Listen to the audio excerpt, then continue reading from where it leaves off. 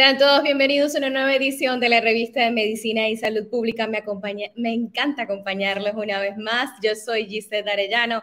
Les doy la más cordial bienvenida. El tema del día de hoy, hipertensión y riesgo de infarto al miocardio. Y qué mejor que hablar sobre este tema de la mano de un especialista. Nos acompaña el doctor Edmundo Jordán. Él es pasado presidente de la Sociedad Puertorriqueña de Cardiología. Bienvenido, doctor. Eh, saludos, gracias por la invitación al programa y siempre estamos en la mejor disposición ¿verdad? para orientar al país y a la ciudadanía eh, sobre todos los riesgos que hay para eventos cardiovasculares. Y qué bueno el poder discutir este tema en, en, este mes, ¿verdad? Que el mes de febrero es el mes del corazón, además de que es el mes del amor. Eh, y nada, representando a la Sociedad Puertorriqueña de Cardiología, estamos honrados por la invitación que nos hacen. Muchísimas gracias, doctora, además por decir que sí a formar parte de los especialistas que suman conocimiento y educación a través de lo que es la tecnología y que se mantiene disponible al alcance de las personas tan siquiera con hacer un clic o acercarse a esta programación y a este contenido. Cuando hablamos de infarto, sin duda alguna, hay muchos factores que pueden estar asociados. En especial, hoy vamos a, refer a referirnos a lo que es el tema de la hipertensión. ¿Qué es la hipertensión, doctor, y dónde se origina o a qué se debe que una persona pueda sufrir de presión alta? Fíjate, cuando hablamos de riesgos de infarto al miocardio. O un riesgo a un ataque al corazón, eh, el tener descontrol de la presión arterial, que es hipertensión, es uno de los factores mayores contribuyentes para que pueda ocurrir un evento cardiovascular una definición para que las personas puedan entender lo que es hipertensión, eh, pues se habla ahora, ¿verdad? A nivel de lo que es Estados Unidos, Puerto Rico, etcétera, de que un valor por encima de 120 en la presión sistólica ya se considera presión elevada. O sea, hipertensión quiere decir presión elevada. Eh, y cuando hablamos de valores es siempre bueno pues mencionar cuáles son los mismos, ¿verdad? Porque tenemos que adquirir eh, unos valores, eh, unos valores que son metas para poder tratar bien la hipertensión. Eh, y si usted tiene más de 120 en la presión sistólica y más de 80, 80 o más en la presión diastólica, ya se considera presión elevada. Pero el término de hipertensión eh, lo establecen después de las nuevas guías del 2017, eh, que todo paciente que está sobrepasando o llegando a 130 en presión sistólica y 80 en la diastólica, ya estaríamos hablando de hipertensión y se clasifica la misma como hipertensión grado 1. Eh, a tu pregunta, la hipertensión es, uno de los factores eh, más importantes ¿verdad? para el desarrollo de enfermedad coronaria o enfermedad cardíaca. Eh, además de enfermedad coronaria, también es un factor muy contribuyente para arritmias cardíacas y fallo cardíaco. En especial en las arritmias cardíacas, la hipertensión puede conducirte a la famosa fibrilación auricular o fibrilación atrial. Eh, ¿De dónde sale la presión alta? Bueno, se han estudiado eh, y se han hecho estudios demográficos, ¿verdad? Eh, para saber cuál es la frecuencia de lo que es la presión en la comunidad general. Y a través de las nuevas guías del 2017, si usted toma 10 pacientes, ¿verdad? Usted va a encontrar que cuatro de ellos tienen presión alta bajo las nuevas guías, ¿verdad? Eh, la causa de la hipertensión eh, tiende a ser multifactorial y en el 90% de ellas se conoce el término como hipertensión esencial porque no sabemos una causa determinada de qué es lo que está causando la presión.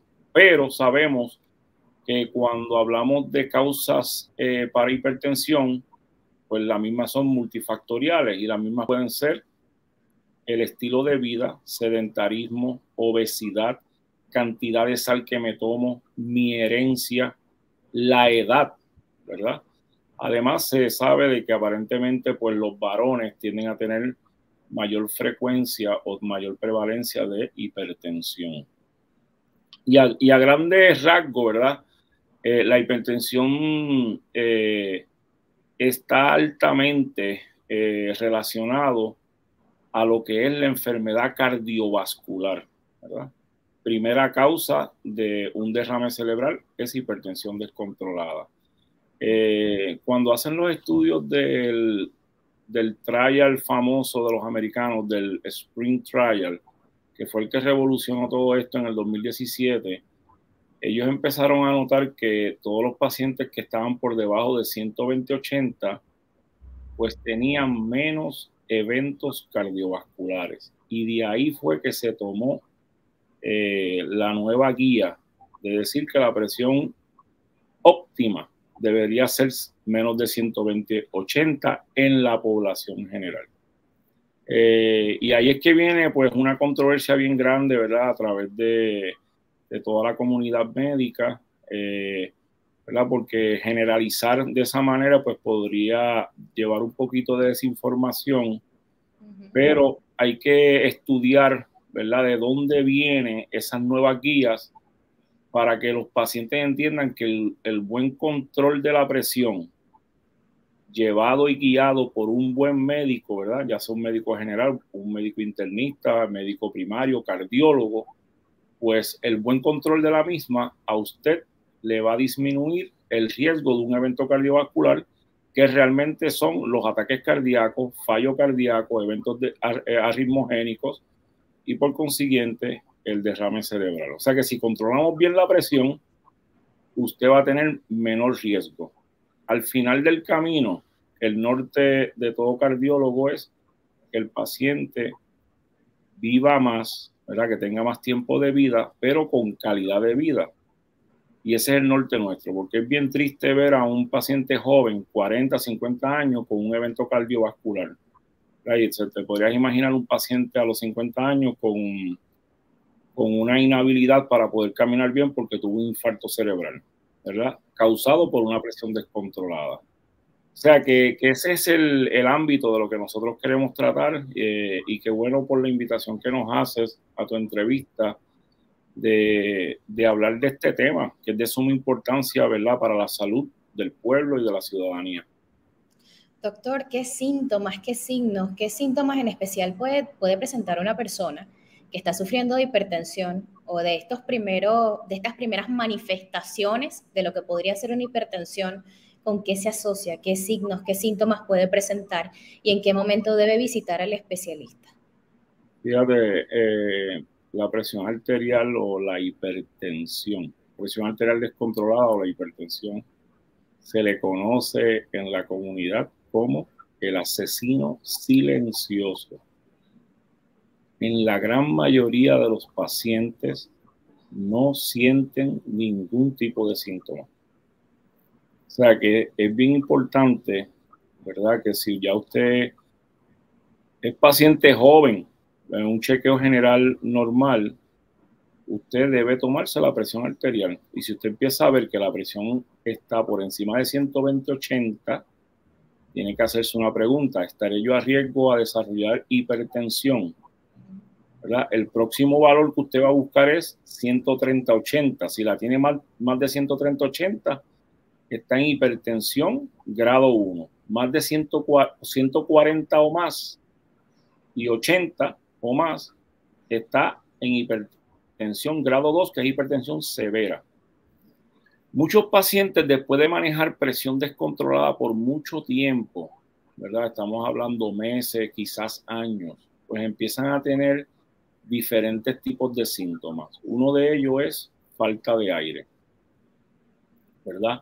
A veces se sienten que tienen dolor de cabeza, mareos, palpitaciones, inclusive presión descontrolada te puede llevar a tener síntomas de dolor de pecho o pecho apretado. Y pacientes que con cualquier actividad mínima, pues usted ve que se empieza a fatigar de una manera marcada. Y esos son los síntomas que vienen en algunos pacientes después de tener presión descontrolada por mucho tiempo. Lo otro es tener presión descontrolada agudamente. Un paciente que no es hipertenso y desarrolla una crisis hipertensiva, ¿verdad? Que son pacientes que empiezan a tener presión más de 180 de sistólica o más de 120, 130 de diastólica. Son pacientes que se pueden tener eventos de fallo cardíaco agudo, que necesitan ir al hospital, ¿verdad? Se colapsan, no pueden respirar, eh, inclusive le puede dar un ataque cardíaco también, ¿verdad? Eh, pues eh, estos pacientes pues tienen síntomas, sintomatologías agudas y repentinas, ¿verdad? Y todo puede ser desencadenado por una presión arterial descontrolada. pero la gran mayoría del paciente con presión arterial descontrolada por mucho tiempo no tienen ningún síntoma. Y por eso es que se le llama el asesino silencioso. Qué importante es hablar sobre este tema, doctor, en especial cuando una persona puede pensar que quizás fue un episodio, alguna situación del día a día, que, bueno, eso fue un evento nada más. Y deciden, eh, ¿verdad? Esperar a que el tiempo pase porque no tienen ningún síntoma, pero ¿en qué momento realmente o después de cuántos episodios en el que una persona sufra depresión arterial alta eh, debe considerar o considera el especialista que ya esa persona puede ser diagnosticada con hipertensión? Fíjate, se habla de que si tiene una presión eh, descontrolada, ¿verdad? Rebasando esos niveles que te dije, si tú en un, en un setting, ¿verdad? Eh, controlado, que el paciente ya esté descansado, no haya tomado café, se sienta, ¿verdad? Sentado, espera cinco minutos y el médico, una enfermera o enfermero le toma la presión, si eso ocurre en dos ocasiones o más, ya usted tiene el diagnóstico de hipertensión. Y ahí, eh, cuando usted sepa que tiene ese diagnóstico, si usted tiene 15 años, 20 años, 30 años, 50 años, acuda a ver al médico lo más pronto posible, porque el manejo temprano de la presión arterial le va a producir salud. O sea que a la medida que usted sepa que tiene la presión alta, tiene que ir al médico. ¿verdad? Y no meramente decir, mira, yo me voy a controlar la presión porque me voy a tomar dos o tres pastillas de ajo, eh, voy a hacer una mejor dieta, etcétera. Vaya al médico porque hay que clasificar qué tipo de presión alta usted tiene, si la misma es leve, moderado, severa, aunque ahora, ahora realmente se dice estadio 1 y estadio 2. O sea que una presión más de 140-90 bajo las guías americanas que salen desde el 2017, usted tiene presión severa. ¿verdad?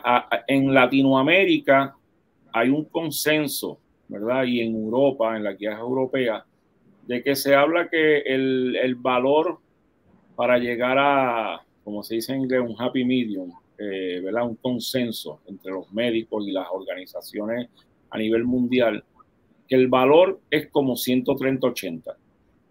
Y si tú sobrepasas eso, ya sabes que tienes hipertensión y necesitas eh, modificación de estilo de vida y tratamiento médico.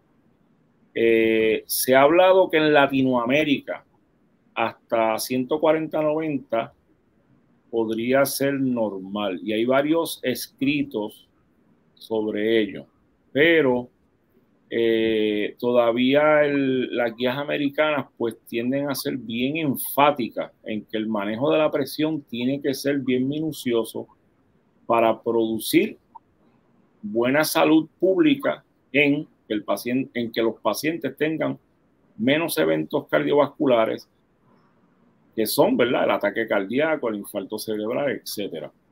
O sea que si usted tiene el diagnóstico y ve que está rebasando ese numerito 130-80, vaya y acuda al médico, ¿verdad? Porque hay diferentes tipos de medicamentos que podemos dar, más orientación de modificación de estilo de vida para que usted pueda controlar la hipertensión, que es uno de los mayores factores para usted desarrollar enfermedad cardíaca. Una vez que una persona es diagnosticada con hipertensión, ¿cuáles son esos tratamientos disponibles?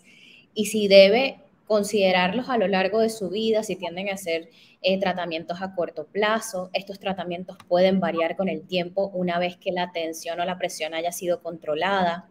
En ese sentido, cuando una persona escucha ese diagnóstico, y sabe que es un asesino silencioso, ¿cómo se prepara para lo que pueden ser los posibles tratamientos?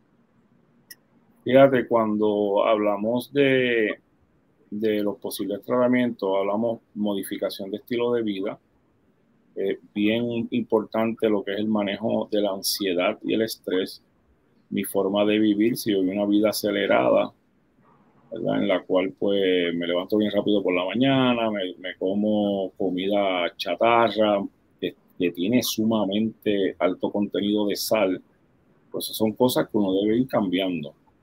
Eh, hay una dieta para los pacientes hipertensos que se, da, se llama, eh, sus siglas en inglés, DASH, D-A-S-H, que se puede buscar en el Google y usted lo encuentra, tiene información en español, en inglés, en cualquier idioma y se recomienda una cantidad de sal mínima para el paciente que es hipertenso. O sea que hay que reducir la ingesta de sal a menos de 2 gramos de, cantidad de sal diario. Eh, y dependiendo de tus otros factores de riesgo, pues hay unas recomendaciones, ¿verdad?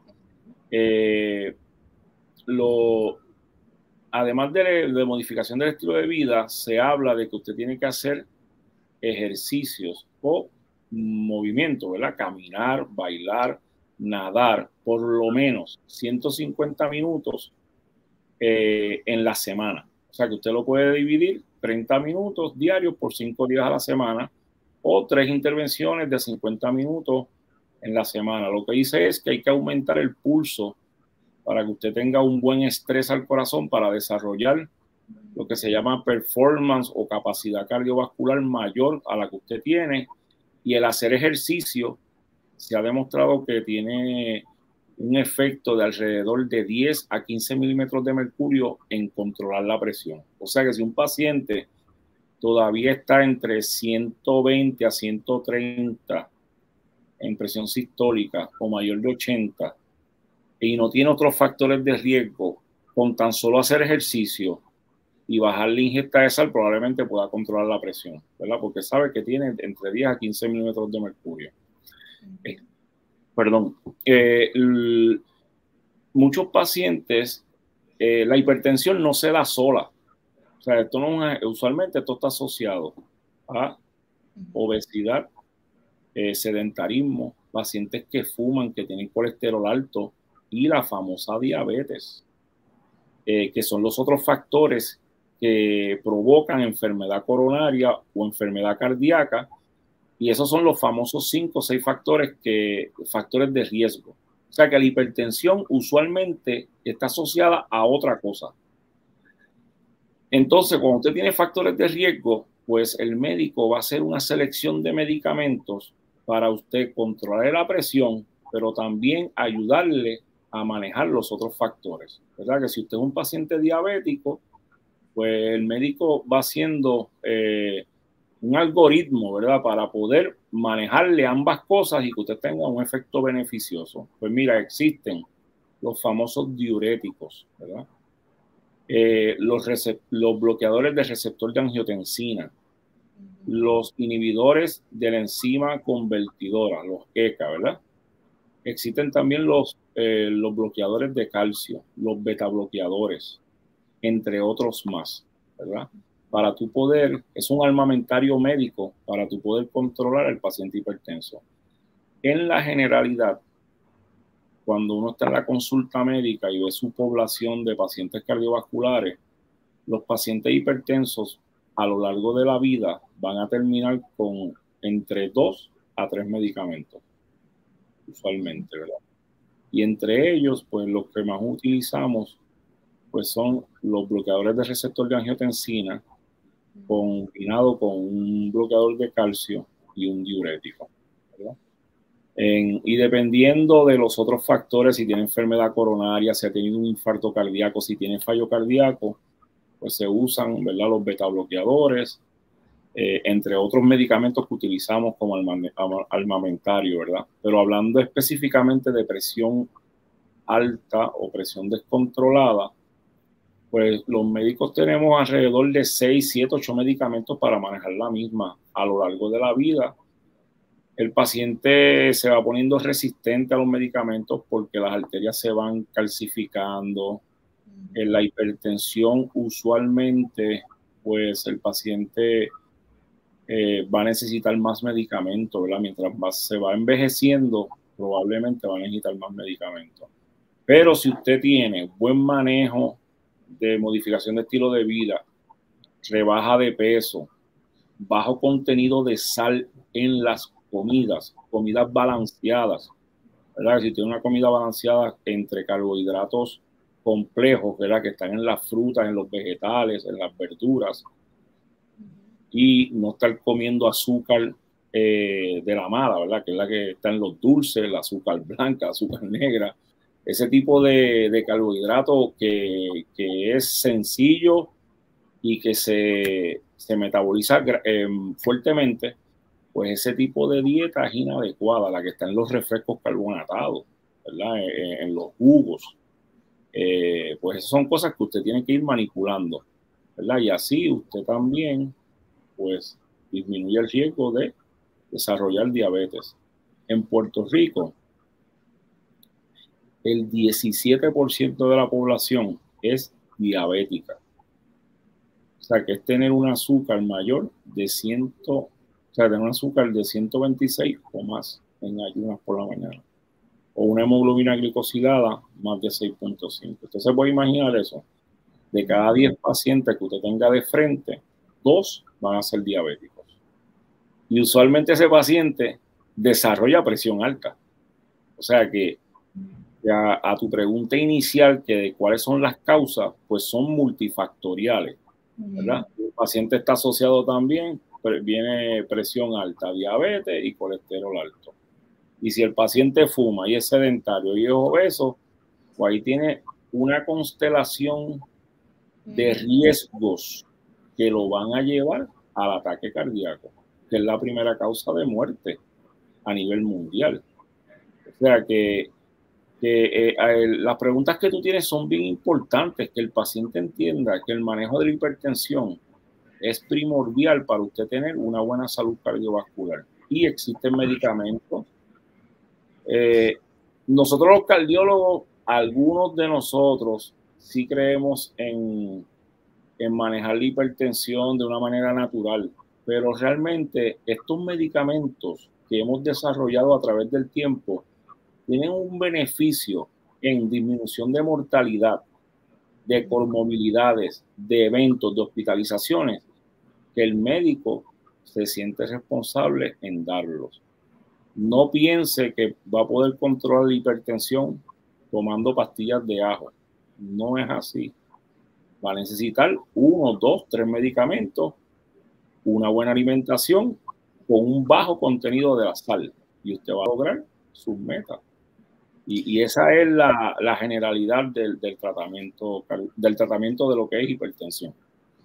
Doctor, ¿existen algún tipo de efectos secundarios que puedan tener, verdad, las personas debido a estos tratamientos y una vez que son diagnosticados con hipertensión? Sí, fíjate, eh, sí hay efectos secundarios, eh, pero son mínimos. los efectos beneficiosos son mayores por eso fue que los americanos en el sprint trial se atrevieron a decir, mira, es mejor llevar al paciente a 120-80, aunque algunos de ellos tengan un poquito de, de ¿verdad? Que, se colapsan o se marean, o a veces pueden desarrollar eh, un problemita de que el, el, riñón se le tranca un poquito. Es mejor tenerlos así porque el beneficio de mortalidad es mayor. Los medicamentos para la presión sí pueden dar algunos de ellos mareos, eh, pueden dar estreñimiento algunos de ellos. Eh, algunos de ellos pues eh, te pueden dar el famoso, los que son inhibidores de la enzima convertidora, hay un de un 3 a un 5% pueden desarrollar tos seca. Eh, y ahí es que uno le cambia los medicamentos. Pero sí pueden haber efectos secundarios, son mínimos y los médicos los conocemos, ¿verdad? Eh, los diuréticos te pueden deshidratar, ¿verdad? Eh, hay que tener mucho cuidado el manejo de la presión alta en pacientes. Eh, los pacientes envejecientes de bajo peso o de baja masa corporal, hay que tener mucho cuidado cómo manejamos esos pacientes. A veces muchos pacientes que tienen 70, 80 años, tratamos de alejarlos de los diuréticos para evitar los, los famosos eh, mareos o la, hipotensión ortostática, que es el paciente que se para y le da un mareo, le da palpitación y la taquicardia porque tiene medicamentos que, están vasodilatando. Eh, pero sí existen efectos secundarios, pero son mínimos. Eh, los medicamentos para la presión son de suma importancia para la población y, y como te dije, de acuerdo a las guías, cuatro personas de cada diez tienen presión alta o hipertensión. Y los mismos van a requerir medicamentos, además de modificación de estilos de vida. La otra cosa que hay que decirle a los pacientes, está prohibido fumar. No se puede fumar. Fumar causa hipertensión. ¿Por qué? Porque causa vasoconstricción de las arterias y eso eleva la presión. La otra cosa que no deben hacer los pacientes hipertensos es el uso de bebidas energizantes, que son estimulantes. Hay que manejar bien el uso de la cafeína, ¿verdad? Si usted se toma mucho café durante el día, le va a subir la presión arterial. Eh, medicamentos que usan muchos pacientes para, ya sean naturales o, recetados para rebajar de peso, también te pueden aumentar la presión, descontrolártela. O sea que, el manejo de presión alta debe ser dirigido por un médico. Y, es de suma importancia que el paciente acuda a esa visita médica, eh, aprenda a descubrir de que el asesino silencioso se descubre eh, tomándose la presión. No se la tiene que tomar todos los días, pero por lo menos una presión en, en un tiempo. Usted dice, mira, fui al médico y me tomaron la presión o, en casa me tomé la presión con, un aparato, con un monitor de presión que compré en la farmacia y a ver cómo está mi presión. Y ahí usted va determinando dónde usted está. Eh, y, a eso es que vamos, ¿verdad? Manejo de hipertensión es de suma importancia. Tenemos que conocer los valores. Y en resumen, el valor más o menos en consenso que han llegado eh, todas las entidades eh, a nivel mundial, la Escuela Americana, la Asociación Europea, la Latinoamericana, es 130-80. Si usted está rebasando ese numerito, usted es hipertenso. Y va a, va a necesitar tratamiento. El tratamiento, modificación de estilo de vida, alimentación, bajo contenido de sal. Cuando el médico lo, lo indique, usted va a usar medicamentos. Y hay un armamentario de diferentes eh, mecanismos para atacar la hipertensión. Eh, y casi siempre que pasa un evento cardiovascular, ya sea un ataque cardíaco, ya sea un derrame cerebral, o una amputa o, o un problema de circulación agudo, la gran mayoría de ellos están asociados a descontrol de la presión. Doctor, aquellas personas que tienen un tratamiento, que son hipertensos y en algún momento puedan tener una crisis de hipertensión, ¿cuál es el momento adecuado para correr emergencias? Si deben hacerlo, si deben esperar a que ese medicamento haga efecto los medicamentos o los tratamientos que usan las personas que sufren de hipertensión son diarios y en caso de que se haya tomado el medicamento o haya fallado en ese día, ¿cómo esto puede interferir o cómo esto puede afectar la salud de esa persona? Y en qué momento realmente eh, en ese monitoreo, bien sea porque decida hacerlo constantemente o decidió en algún momento ahí tomarse la atención para saber cómo estaba, se da cuenta que está eh, más alta de lo que debería. ¿Cuál es el momento para correr emergencias y si debe hacerlo? Mira, eh, si tú estás teniendo síntomas como dolor de pecho, dolor de cabeza, mareos, y eso está asociado a presión alta, ya usted debe ir a sala de emergencia. A veces la presión alta está en 160-90. Crisis hipertensiva está, está diagnosticada una presión sistólica de 180 o más o una sistólica de 120, 130, perdón, diastólica de 120 o 130. Si usted tiene persistencia en esa presión, aunque no tenga síntomas, debe ir al hospital, ¿verdad? Y ya, porque tiene una presión sumamente elevada. Pero si usted tiene presión que no rebase eh, esos parámetros, pero tiene síntomas, también tiene que ir al hospital. Eh, y esos son momentos para uno arrancar, porque en el hospital nosotros le podemos dar medicamentos endovenosos para controlar la presión de una manera mucho más rápida que medicamentos orales y monitorizar al, al paciente. Si un paciente tiene crisis hipertensiva y tiene un evento cerebrovascular, ¿verdad? Que es un derrame cerebral, tenemos que tener mucho cuidado cómo bajamos la presión. Porque si usted le baja la presión de cantazo, provoca empeoramiento de los síntomas y el paciente puede tener un infarto cerebral completo. O sea que cuando el paciente tiene un síntoma como que perdió el habla, que está hablando, eh, que se le viró la cara, que tiene adormecimiento de una extremidad o de o que tiene que está viendo un síntoma de derrame cerebral, arranque para el hospital. Eh, eh, hay que ir al hospital, ¿verdad? Para que usted tenga el mejor tratamiento y manejo. Eh, hay pacientes que a veces se le olvidan los el medicamento y se lo tenía que tomar por la mañana y no espera hasta, el otro día. La mejor recomendación es que si se lo olvidó, pues mira, me, lo, me acordé ahora para tomarlo por la tarde, me lo puedo tomar siempre y cuando no haya un régimen que tenga múltiples medicamentos en diferentes horas. O sea, que tiene que hacer siempre un balance. Si tiene duda, pregunte. Usualmente los médicos pues tenemos acceso ¿verdad? a los textos, eh, a comunicación para darle orientación a los pacientes. Eh, también eh, las asociaciones pueden contestar preguntas si el médico no está presente.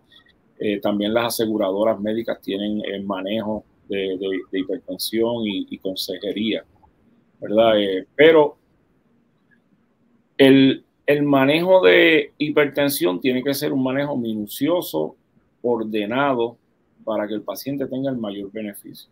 Y no se olvide, si usted tiene síntomas o tiene una presión demasiado elevada, que usted, no, usted ve que esto no se le está controlando y no puede llegar a la cita de la consulta médica, pues tiene la opción de ir a sala de emergencia, ¿verdad? A sala de urgencias y ahí recibir tratamiento. Se estabiliza el paciente, si se puede estabilizar en 12 horas, 24 horas, se da de alta y el, y el médico lo trata en la oficina.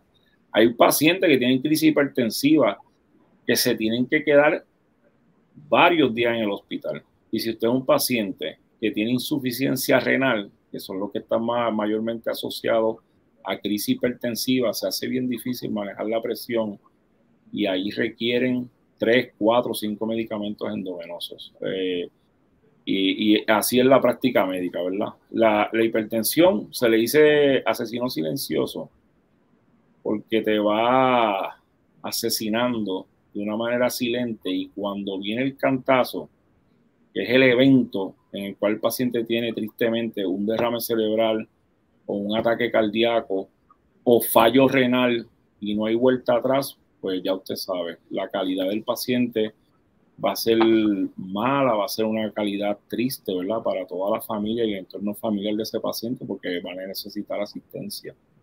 Eh, y la presión, pues sabemos que se puede manejar y, lo que tiene que hacer el paciente es educarse. Y gracias a ustedes, ¿verdad? A, instituciones como Medicina y Salud Pública que se dedican a la educación al paciente, a la educación a los médicos, pues este tipo de campañas es de suma importancia. Eh, y qué bueno poder hablar de hipertensión. Doctor, en el caso de las mujeres embarazadas, la hipertensión, ¿cómo puede afectar la hipertensión a las mujeres embarazadas y a esos bebés que están en periodo de gestación? Fíjate, eh, bajo, yo no soy un especialista en, la parte de, ginecología y obstetricia, pero sí podemos ayudar en el manejo de la hipertensión en mujeres embarazadas. Eh, hay, unas, hay unos medicamentos que si usted piensa quedar embarazada, no puede utilizar. Como están contraindicados los receptores de, los bloqueadores de receptores de angiotensina, eh, los inhibidores de la ECA como el isinopril, el, famoso Vasotec, entre otros, eh, y están contraindicados porque son, pueden causar eh, procesos teratogénicos, ¿verdad? el manejo de la presión arterial en mujeres embarazadas es de suma importancia. Si ya usted tenía hipertensión crónica, o sea que ya usted era hipertensa, pues ya sabe que si va a quedar o va a planificar un embarazo, tiene que eh, buscar orientación de un cardiólogo internista para que le haga unos cambios, ¿verdad? En esos medicamentos. Eh, y, usamos otros, ¿verdad? Como eh, el famoso Aldomet, la Betalol, que son medicamentos que han sido probados que no le van a causar ningún problema, ¿verdad? Al feto ni, al producto que está en el vientre. Eh, ya si usted a las 20 semanas de embarazo empieza a tener presión alta, ¿verdad? Que se define más de 140, 140 en la sistólica o más, o 90 en la diastólica, tenemos que definir el concepto de lo que es preeclampsia. Y la preeclampsia, pues, está asociada a hipertensión gestacional, ¿verdad? Eh, y están íntimamente ligadas. Y a consecuencia, lo que es una preeclampsia severa que te va a llevar a eclampsia. Los valores 140-90.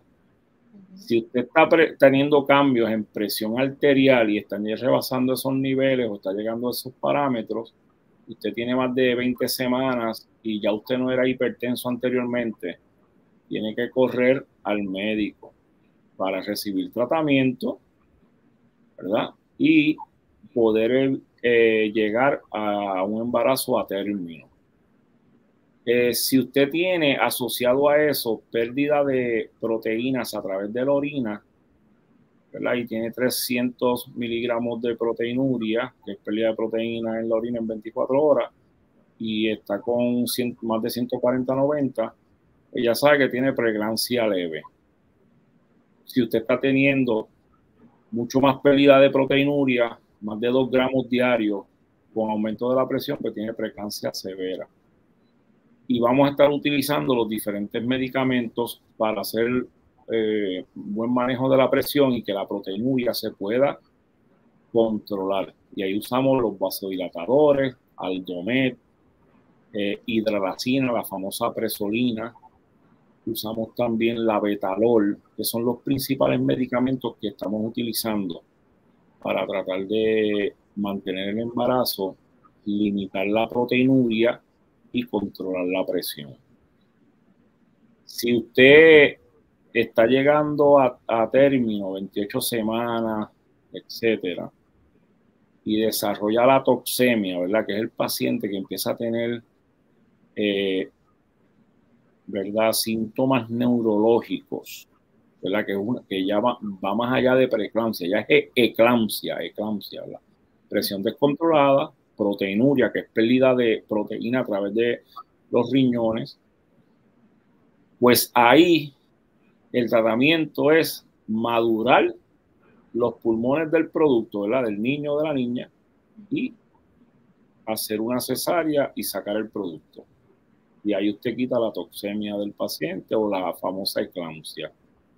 Y así a grandes rasgos es el manejo de lo que es en manejo de hipertensión en mujeres embarazadas. Eh, ¿verdad? Es, hay diferentes maneras de manejarlo.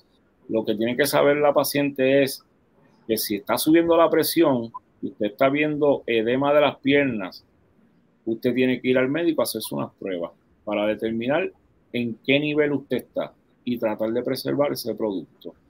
Eh, si, va, si usted es hipertenso, perdón, hipertensa, y ya usted lo sabe, tiene que buscar orientación para cambiar algunos medicamentos para que los mismos no sean teratogénicos al bebé. ¿verdad? Y tiene que, y tiene que hacer unos cambios de esos medicamentos. Eh, y a grandes rasgos, ese es el manejo de hipertensión en, en, mujeres embarazadas. Eh, eh, básicamente eso es lo que nosotros hacemos cuando estamos en el hospital, ¿verdad? Buscar los diagnósticos de preeclampsia, evitar eclampsia. Si ya la estamos sospechando o la vemos, pues decimos al ginecólogo, mira, ya tienes que sacar el producto porque vas a, si no, pierdes el producto. ¿verdad? que es el bebé, y, hay complicaciones, puede haber fallo cardíaco, puede haber eh, cardiomopatía periparto, ¿verdad? Asociada al parto puede haber una cardiomopatía, y esta está asociada a presión alta también. Eh, y, ahí podemos perder eh, a la madre y al hijo. Doctor, en cuanto al, al, impacto de las emociones, ¿está asociado también a la hipertensión? En caso de ser así, es recomendable un equipo multidisciplinario para tratar a esa persona que ha sido diagnosticada con hipertensión y que pueda estar presentando algunas crisis hipertensivas. ¿Las emociones tienen íntima relación con esta condición? Fíjate, yo soy fiel creyente de que el ser humano no es meramente un cuerpo, ¿verdad? Yo creo en el concepto de alma, la cuerpo, alma y espíritu, ¿verdad? y, y el ser humano tiene un tipo de crianza, una idiosincrasia, una cultura, unas creencias, ¿verdad? Eh, una manera de vivir. Si tú manejas tus emociones y manejas el estrés, definitivamente vas a tener mejor manejo de la presión arterial. ¿verdad? Porque como te dije anteriormente, la presión arterial es desencadenada en la gran mayoría multifactorial. En algunos casos hay como un 10% que tú puedes determinar una sola causa, ¿verdad? Eh, problemas de hormonales, hipertiroidismo, un feocromocitoma, eh, un problema en las glándulas eh, suprarrenales, etcétera, ¿verdad? Y hay una causa específica, pero en la gran mayoría de los pacientes es multifactorial. Y la vida en estrés, la vida que tenemos actualmente, nos puede desencadenar descontrol de la presión, ¿verdad? Que si, y si usted va y alimenta el espíritu, sus emociones, manejo del estrés, eh, va y camina, escucha música, eh, eh, técnicas de relajación, ¿verdad? Inclusive hay gente que orando, ¿verdad? tienen efectos positivos para la salud cardiovascular, ¿verdad? Meditando. O sea, definitivamente el control de las emociones, el manejo del estrés, eh, se debe tratar en el paciente hipertenso. Eh, tu pregunta es que si necesito un manejo interdisciplinario, en muchos casos sí, pero en muchos casos lo que necesita el paciente es educación, ¿verdad? Educarme, leer, ¿verdad? Si yo leo cómo puedo manejar el estrés, y, hay, un montón de, educación, un montón de libros, ¿verdad? De, de manejo del estrés, ¿verdad? Eh, las mismas escrituras, las Sagradas Escrituras tienen un montón de lecturas para uno sentirse muy bien, ¿sabes? Eh, hay tanta literatura buena, Para que el paciente tenga paz espiritual y paz emocional para que usted tenga otra herramienta para manejar la presión arterial. Si usted tiene estrés, ¿usted sabe lo que pasa? Aumenta el contenido de epinefrina, de norepinefrina, que son las hormonas que cogen las arterias y las aprietan. La, causan vasoconstricción y eso eleva la presión y eleva el ritmo cardíaco. ¿verdad? Si usted puede manejar eso emocionalmente, definitivamente es otra herramienta para, tratar la alta presión y tratar las condiciones cardiovasculares. Doctor, una vez que se le da a las personas esta información de valor, muchos de ellos se puedan estar preguntando en este momento cuál es el momento adecuado, sabiendo que es un enemigo silencioso, puede que no presente síntomas hasta que esté muy avanzado. ¿Cuál es el momento en el que alguna persona debería medirse la presión quizás para conocerse un poco más, para saber que está bien, que está dentro de los valores, ¿Cómo se puede empezar a ser consciente a través de esa práctica de medirse la tensión? ¿Cuál es el momento adecuado para hacerlo? ¿En horas de la mañana? ¿En horas de la noche? Quizás esto también podría ayudarlos, además de todo lo que ya usted nos mencionó como parte de esas recomendaciones y la readaptación de ese estilo de vida. De la presión arterial se debe tomar eh, que el paciente esté descansado. Eh, siempre es bueno tomarse una presión acabándome de levantar, ¿verdad? Eh, pero el paciente debe estar en una posición correcta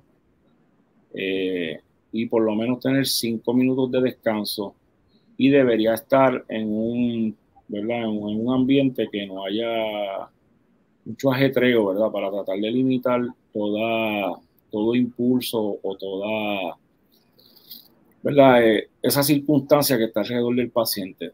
Eh, la, manera más fácil de un paciente avanzar la presión es ir a una clínica, ¿verdad? Hay tantas clínicas de detención de, presión arterial en las mismas farmacias, ir al médico. Eh, también existen los aparatos electrónicos que te venden en las farmacias de bajo costo, son precisas, bastante precisas.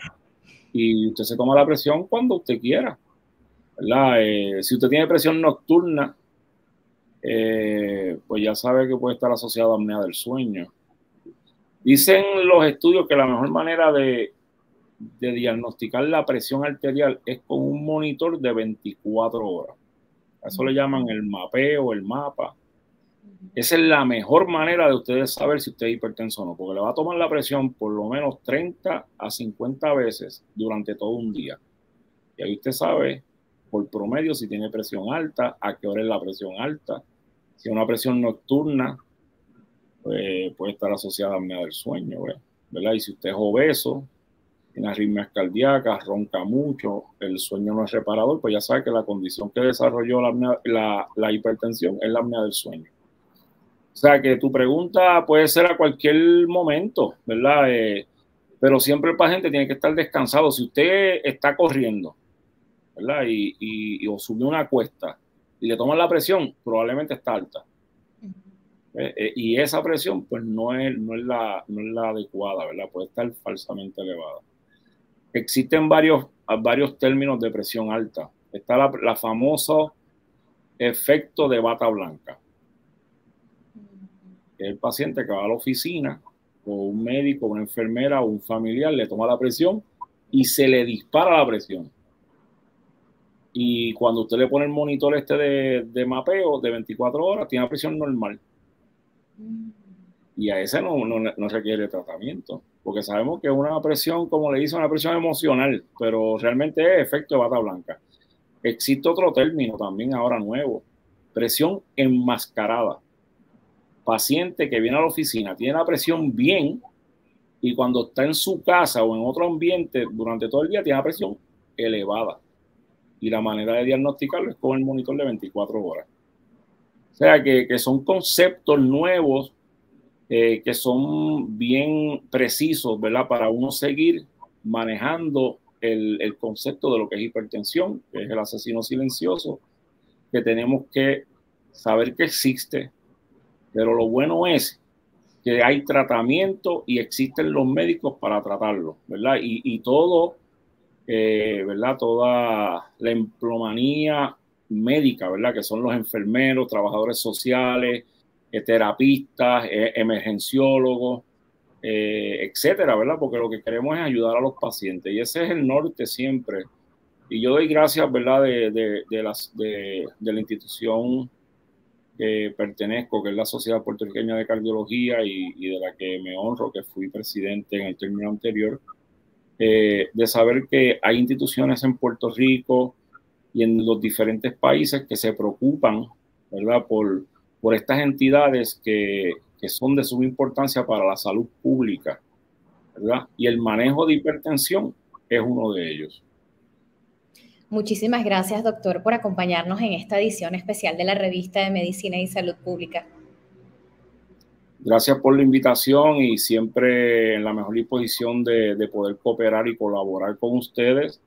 Eh, llevamos eh, varios años colaborando con Medicina y Salud Pública y me siento muy honrado de que me inviten, y para mí es un placer poder servirle al país a través de sus medios. Muchísimas gracias además a todos los que se conectaron con todos nosotros. Conversamos con el doctor Edmundo Jordán, él es pasado presidente de la Sociedad Puertorriqueña de Cardiología. El tema de esta edición especial fue hipertensión y riesgo de infarto al miocardio. Forma parte de este especial o parte de las iniciativas del mes de febrero Mes del Corazón. Yo los invito a todos ustedes a que sigan conectados con la programación de la revista de Medicina y Salud Pública. Soy Gisette Arellano. Recuerde seguirnos en Instagram como arroba revista MSP. También visite medicinasaludpublica.com y no olvide seguirnos en Facebook como Revista de Medicina y Salud Pública. Será hasta una nueva oportunidad. Que estén bien.